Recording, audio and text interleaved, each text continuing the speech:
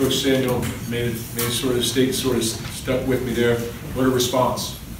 And that's what we had today, today, a response. You know, really, uh, came out with, with the idea that we were gonna attack and uh, offense, defense, and special teams, and, um, and uh, have momentum and keep momentum, and that's exactly what ended up happening. And, uh, Purdue's got a good football team, very explosive football team, so I thought uh, from the, on the first end of the spectrum is that uh, we controlled uh, Moore, number four, um, sort of kept uh, Blough in check, didn't allow many big plays, you know, shut the passing lanes down deep.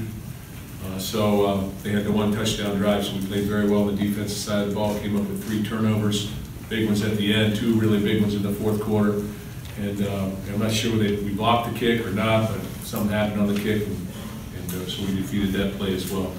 Then offensively, I thought Rocky played a tremendous game, Rocky Lombardi, um, for a guy coming in there on his first start, big game, really big game. Um, I thought he was poised, I thought he ran the ball effectively when he was asked to.